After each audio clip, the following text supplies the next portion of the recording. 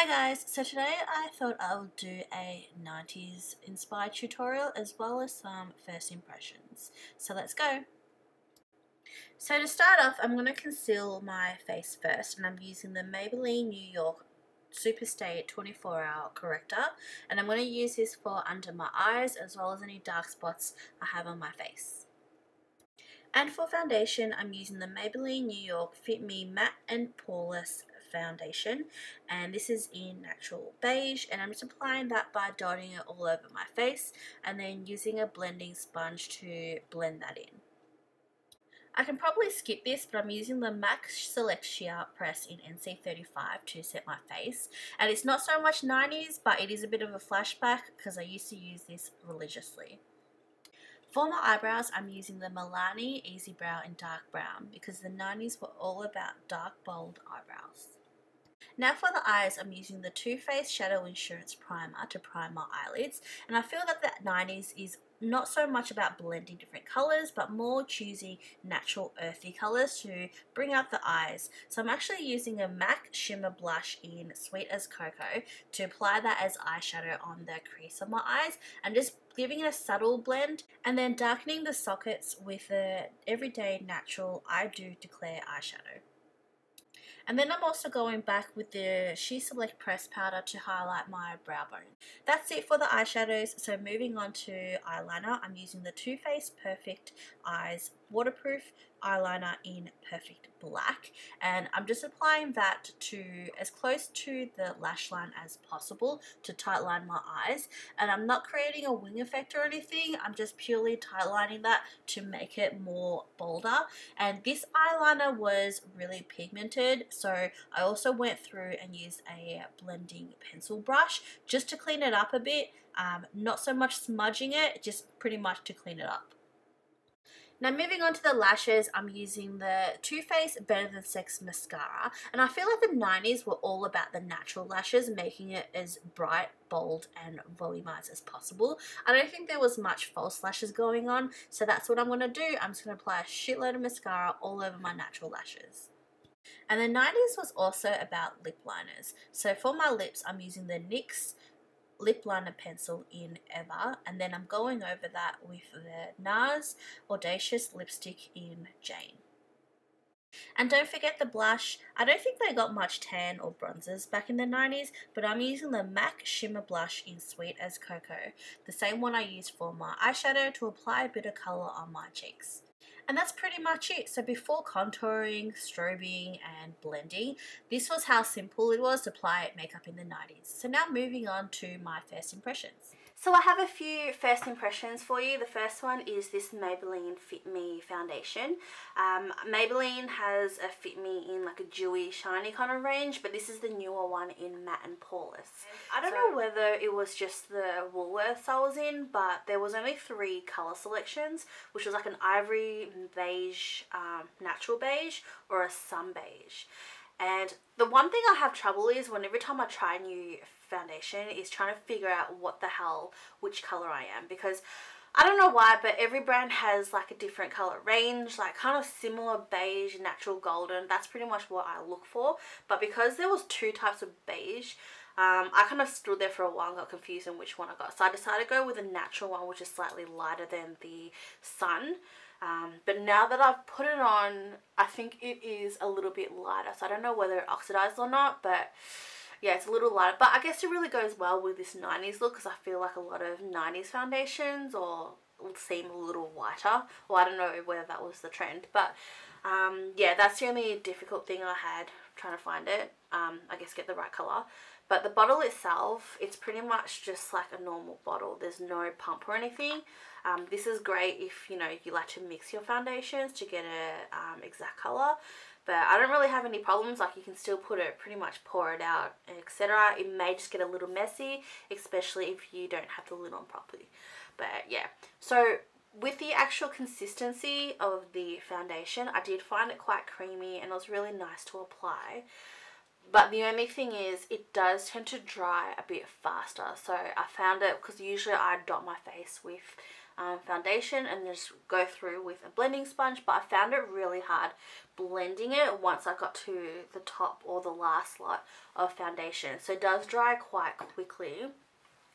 And the packaging itself it's matte and poreless. So it says here that it mattifies and defines pores um, it is, it my face doesn't feel dry. Well, actually, so when I apply the foundation on, it actually feels quite nice. Like it doesn't feel um, shiny or anything, and there's it's not like greasy or anything like that.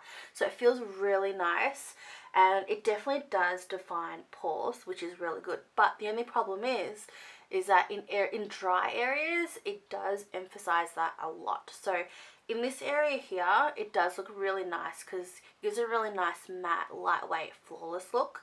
Um, but areas like under my chin where it's a little bit more dry, it just looks a little bit flaky.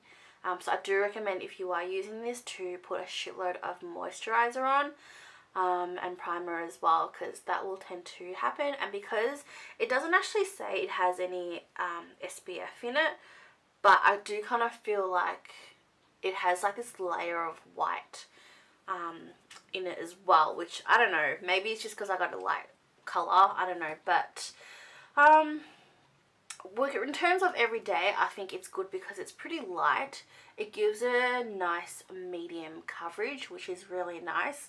The only issue is obviously if you have dry spots, then you know, it might come up a little bit more. But if you have like an oily skin, or something like that, then I think this will work out really well, especially yeah, if you have oily skin. But that is my review on this. So the next lot of favourites came in a set and it's the Too Faced 5 star favourites and this is seriously amazing idea. I really love it and I think all makeup companies should really get on board and have like little sample packs because this one comes in a set of three and it comes with an eyeshadow primer, an eyeliner as well as a mascara and I think it's a good idea because it only costs $28 and it's a good way of sampling the products. Like sometimes you don't want to buy the full product because it costs a lot of money you don't know whether it's good or not and a lot of times where you can try it in store you can't really get a good idea of whether you like it or not. So something like this where you can use a couple of times um, to get a fair idea of whether you want to continue using or not but yeah, so the main reason why I purchased this because I wanted to try the Too Faced Better, Better Than Sex mascara. And I've heard a lot of good reviews about this online. There's quite a lot of hype on it, so I thought I'll give this a go. Um, I was a bit reluctant in buying the full product because, I don't know, mascara isn't one of those products that I really, really love. I'm constantly trying to find a good mascara, but it's nothing that I really... It's not one of those things that I hype about. So yeah, and this one, so it looks something like this, which has a really nice, decent, big brush on it to give you a lot of volume. And um, I don't know, like, I don't know what makes mascaras different, whether it's like formula or not. This one, I think I'm more... I like the ones that come with little fiber bits because it actually, you know, make your eyelashes look longer. This is just like a normal mascara. There's no fiber or anything in it. Um, I don't know why it's better than Sex because it just looks like a normal mascara to me. When I did apply it on, I found that it did go on quite nicely. Like there was no clumpy bits or anything like that, which was really nice. Um, it did volumize it a little bit. Like I wouldn't say it volumized it a lot, but when you apply bit by bit, it did gradually build up a bit, which was really nice. Um, but yeah, it doesn't, it was quite messy to apply. It did take a while to dry, but once it's applied, it does feel quite nice and light as well. But yeah, the bottom lashes turned out really well because it didn't clump. So I guess this is better than a lot of different mascaras, but it's not something that I would really hype. So I'm kind of glad I purchased this and not the larger one because I've got other mascaras that do pretty much the same thing, but yeah, so the set, also comes with a Too Faced Shadow Insurance Primer and this is one of their long time products that they've had for a while. I purchased this um, a few years back and I never really, I don't really use it as much but I feel like I need to use it because I have like three of these already and the reason why is even though they sell the product by itself they also give it in a lot of the palette sets and things like that as well. So if you are looking at purchasing eyeshadows and um, an eyelash, like an eyeshadow primer, then hold off the eyeshadow primer because a lot of palettes, like I know Urban Decay gives you like a little sample of their primer, but I also got one of these in one of the Too Faced um, palettes as well. So that's a good thing about some palettes that come with like little extras. So this was inc also included in one of the palettes. So if you don't get it and you really want it, then you can go ahead and buy the big size. But apart from that, this little bottle, like this little tube here, will last quite a while as well. So yeah. And another thing that also came in the palette, which I didn't know, is this Too Faced, Too Faced, Too Faced Better, no, wait, let me start that again. So the set also came with a Too Faced Perfect Eyes waterproof eyeliner, which looks like this. And this is something that I actually already have as well, which I didn't know because this was included in the Better Than Sex palette, which looks like this.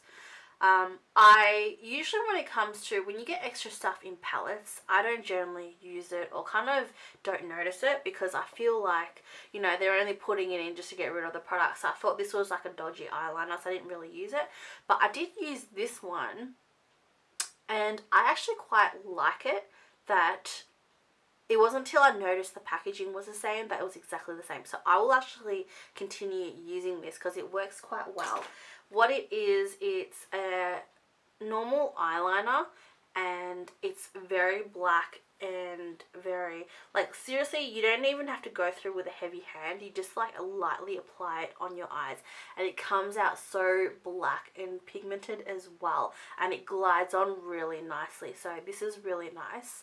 Um, it's smudge proof and waterproof. Um, with the smudge proof it does kind of smudge a bit but it's not too bad. Like I think when you wear eyeliner, you kind of get used to not trying not to smudge your face anyway. Um, this one, okay, so it did smudge quite a lot, but it's only because I just applied it. And um, if you let it sit for a bit and let it sit, like it doesn't smudge as much after. And it's pretty waterproof as well, so that's really good. The only thing I'll have to say about it because the formula is really good that it does tend to get quite messy especially when you like the ring around the product. Sometimes when you apply it it does get quite messy so just keep that in mind and don't apply with a heavy hand. Um, but it's quite once you apply it, it's quite smudged like you can smudge it which is really nice. It gives you like a couple minutes to play around with before it kind of sets and yeah. So I really like this I really like this pack and I think you know this is just good in general. I don't see a fault and I think this is perfect for like, you know, little KK gifts and things like that or just little, you know, little cheap presents I guess but this is a really nice set so I do really like this. So my last favourite is this lipstick from NARS and this is from the Audacious lipstick collection and to be honest I purchased this because in my previous first impressions video I purchased the semi matte one and it was I was contemplating whether getting that one or this one but I thought I would buy the semi matte one because it was more of a matte I'm more of a matte person so I thought I would give that a go which to be honest I think I made the wrong decision. So I went back and I bought this one. So this is the Audacious in Jane which looks something like this. Um, it's just pretty much like an everyday everyday kind of you know corally kind of mauve light lips kind of colour and to be honest I really like this one and I regret buying the other one because this one the everything about it is just a lot better. So the packaging what I love about the packaging is that it looks normal slick black and it actually has like a magnet thing. So you will never have the problem of having the lid come off which is really well nice um, the formula of this lipstick, it's quite creamy, but it also has like a nice matte finish as well. So in terms of the matte level, level I would say this is more of a semi-matte than the other one. Because the other one was just, I don't know, this one just kind of felt like more of a full matte than a semi-matte as it's supposed to be. But yeah, so that was the one that I purchased the other time, and this is the new one. So I'm quite happy with this one, and I do recommend this one than the other one. And also the packaging, okay, it might just be the packaging, but the size of it, I feel it's quite worth it because it's more bigger as well. So that is all of my first impressions and this makeup tutorial. I hope you like this look. If you do, please give me a thumbs up and also make sure you subscribe to watch more videos. And if there's any other look you want me to try or attempt, then leave a comment below and let me know as well. Thanks for watching. Bye!